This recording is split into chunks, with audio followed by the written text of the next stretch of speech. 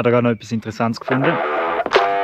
Es hat vier von diesen roten Büsschen hier rund um den Hühnerstall.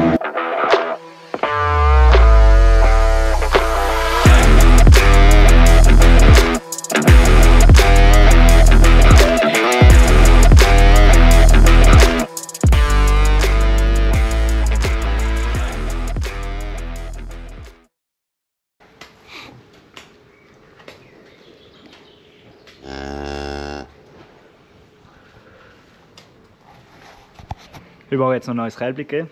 Ein spezielles Kälbchen, das ist wahrscheinlich das letzte Kälbchen von diesem Jahr oder von dieser Saison. Wir tun ja saisonal abkälben. Da die sind auch noch nicht so alt. Das sind alle irgendwie zwischen Februar und April auf die Welt gekommen. Und das ist jetzt das letzte. Wir haben jetzt glaube ich etwa 23 oder 24 Kälbchen. Jetzt, heute bin ich nur am Morgen schnell im Stall gewesen, habe ich es gesehen. sonst bin ich nicht daheim gewesen. Ich bin im Betrieb, wo ich letztes Jahr Arbeiten war. Oder bis letztes Jahr, bis Ende letztes Jahr. Dort haben wir nämlich noch Legehühner, Legehennen. Zwar 18'000, also das Maximum, das man in der Schweiz haben kann. Wir dürfen in der Schweiz nicht mehr als 18'000 Tiere haben auf einem Betrieb. Und sie haben eine Freilandhaltung. Ich denke, ich kann diese Woche auch mal noch zeigen, wie es dort aussieht, der, der Außenbereich, weil der ist mega, mega groß für so viele Tiere. Und heute Abend, also jetzt ist. Jetzt ist ey, steht mal auf den Fuß. Jetzt ist 6 Uhr und heute um halb neun tun wir noch ausstallen auf diesem Betrieb. Und weil er noch keinen Angestellten hat, der Chef, also mein bis letztjähriger Chef, äh, bin ich mir jetzt heute noch aushelfen und auch diese Woche noch. Heute haben wir alles vorbereitet, wir haben die Wintergärten schon mal gemischt und äh, alles eingerichtet für das Ausstellen heute Abend. Und dann tun wir die heute Abend ausstellen und dann bin ich auch sonst noch die Woche bei ihm am helfen, um alles mischen und so, weil für so einen grossen Stall braucht er natürlich viel Zeit und gibt da recht viel Arbeit. Bin mir dann noch nicht sicher, wie viel ich kann zeigen und wie viel ich überhaupt filmen werde. Jetzt nicht, weil man irgendwas zu verbergen hat dort, weil es ein Riesenbetrieb ist, sondern mehr einfach, weil es halt auswärts ist, bei jemandem Fremdem, sage ich jetzt mal. Und das ist immer noch etwas anderes, wenn man daheim am Filmen ist. Und auch sonst von der Arbeit her, es ist halt viel Misten und Wäsche und alles vorbereiten nachher. Das ist jetzt nicht extrem interessant, also im Sinne von, ich kann viel dazu erzählen. Ähm, ich werde sicher ein paar Sequenzen zeigen, aber vom Ausstellen und so werde ich sicher keine Aufnahmen machen, weil es ist dunkel im Stall dass die Hühner ruhig sind, weil es ist ja halb neun ist Nacht, normalerweise schlafen sie um die Zeit. Und dann macht es keinen Sinn zum Filmen. Und es ist auch so, den Ausstellen, wenn man ein bisschen vorwärts machen, dann hat man nicht noch Zeit, um da überall Videos zu machen. So, heute haben wir den Hühnerstall rausgemistet. Da war vorher Mist und alles richtig staubig. Da ist jetzt alles mit dem Laubbläser noch abgeblasen worden. Da ist jetzt soweit parat zum Waschen. Mit einer Putzekippe, ich glaube 6 oder 7. Und die dann da alles mit dem Hochdruckreiniger schön sauber machen. Es hat vier von diesen roten Büsschen hier rund um den Hühnerstall. Das sind die vom, von der Putzekippe. Die sind siebte, glaube ich. Sind am Hühnerstall waschen. Man sieht hier auch. Da ist jetzt alles einschamponiert. Die haben heute Morgen um 7 Uhr angefangen hier und sollten heute Abend fertig sein. Ich arbeite eigentlich in, in einem Tag, sollte den ganzen 18.000er Stall können putzen machen da hauptberuflich. Die gehen da von Stall zu Stall und putzen da alles. Da, da haben sie äh, die Hochdruckreiniger und alles drin, was sie brauchen zum Putzen. Die macht also professionell. So ist natürlich sehr effizient, wenn die da öfters machen, die wissen, wie das geht. Wenn wir jetzt da müssen selber putzen, dann geht es viel länger. Äh, ich bin hier am das Waschwasser ausbringen. Ein Fan für 16er und ein 7,5 Kubik Schüttefass. Da das Waschwasser läuft alles da drin und da bringe ich jetzt aufs Feld aus.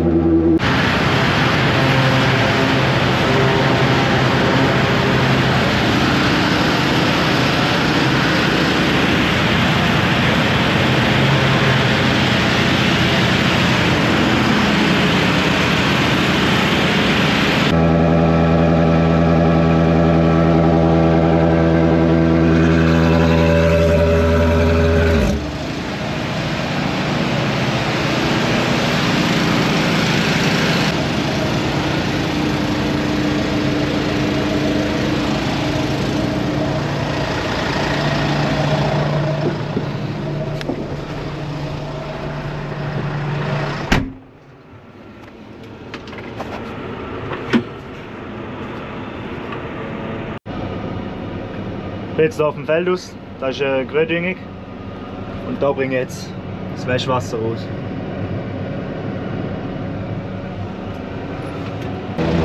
So, ich zeige euch jetzt mal noch den Auslauf der Hühner. Ich stand hier gerade auf dem Traktor, da haben wir ein bisschen einigermaßen gute Aussicht. Da hinten ist der Stall. Da ist der Wintergarten da hinten. Da es noch einen Allwetterplatz. Das gleiche es auf der anderen Seite vom Stall nochmal. Und da ist der Auslauf. Da ist da hinten um die Ecke ist eben der andere Teil vom äh, der andere Wintergarten und der andere Auslauf. Und da, ich weiß nicht, wie, man, wie gut man es erkennt, dort vorne das Gelbe ist der Raps. Bis dort hin können es gehen. Und da, dort wo die weißen Folien sind, dort hat es auch noch einen Haken. Also da geht da hinten alles da durch bis dort führen. Also die haben ein, ein riesiges Gebiet, wo sie rausgehen können. Dann hier die Wege, die da jetzt noch wieder, da jetzt nochmal so Unterstände, wo sie können drunter. Das ist so für die Tür noch ein bisschen zum Schutz. In der Natur würden sie auch nicht einfach auf der offenen Fläche rumlaufen, sondern die tun sich gerne ein bisschen verstecken unter den Sachen, auch vor Raubvögeln oder sonst irgendwie Fressfeinden. Und da haben sie also da auch.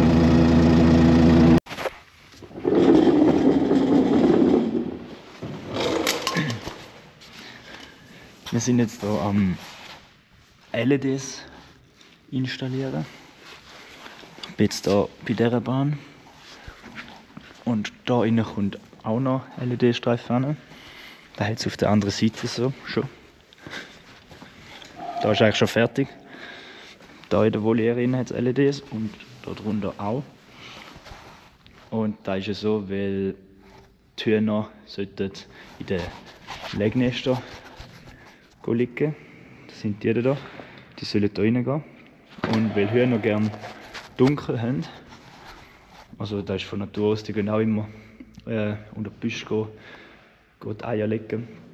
Eben weil sie gerne dunkel haben, wir jetzt hier innen beleuchten und darunter, dass da möglichst keine Eier hat.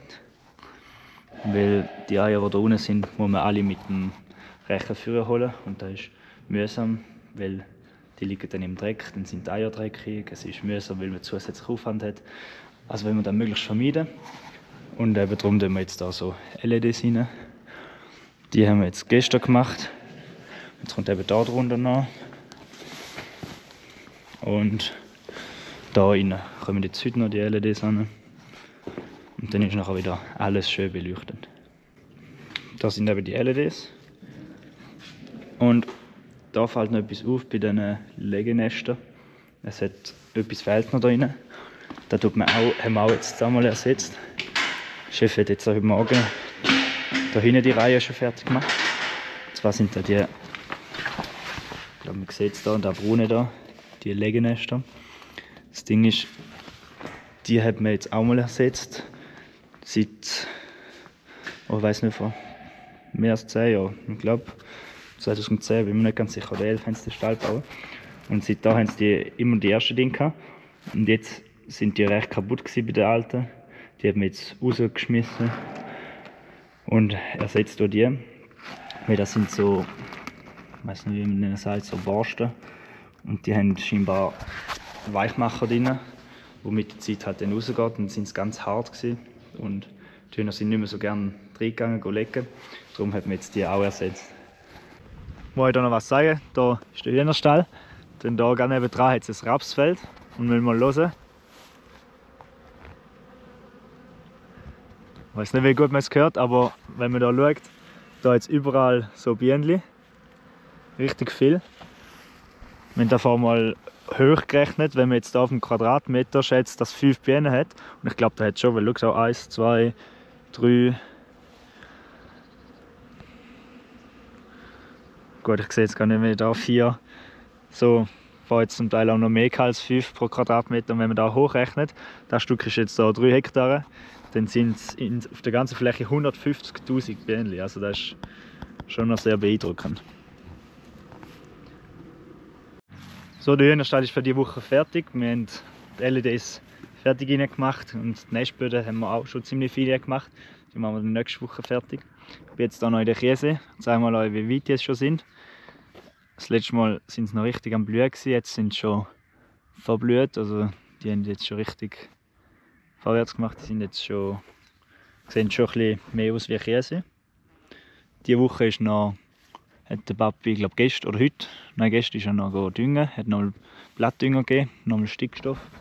Und heute hat er nochmal gespritzt gegen also nochmal Fungizid und Insektizid, einmal gegen den Schallenwickler und einmal gegen Monilia und Schrotschuss. Dann sollte er auch wieder geschützt sein. Hat er gerade noch etwas Interessantes gefunden.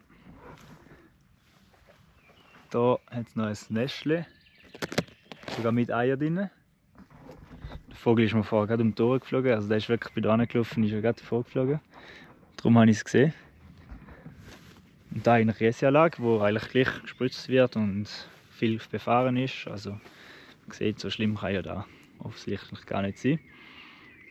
Ähm, was ich noch sagen die Woche war ja ziemlich kalt. Gewesen. Bei uns war die tiefste Temperatur 0,5 Grad. Gewesen. Ich habe sogar bei der einen Anlage gesehen, die haben die Kerze aufgestellt und geführt. Das haben wir auch schon machen, weil eben wenn halt Käse am Blühen sind, es sehr heikel, sind nicht so, oder sind sie anfällig auf kalte Temperaturen, dann können sie verfrieren. Da war meistens so bei minus 2 oder minus 3 Grad. Gewesen. Jetzt sind es damals schon recht weit. Gewesen.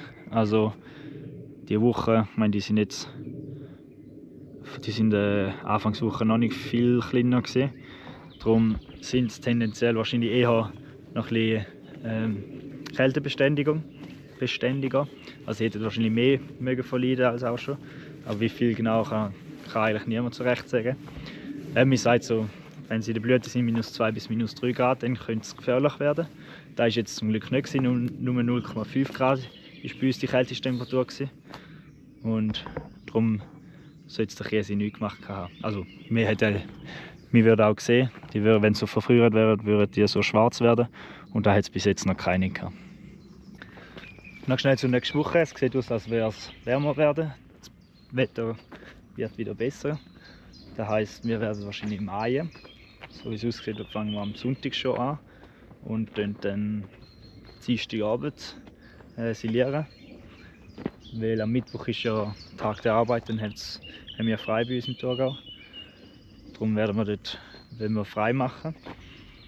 Und am Montag bin ich wahrscheinlich wieder äh, im Betrieb, wo ich jetzt diese Woche am Arbeiten war. Dort tun wir dann auch mähen.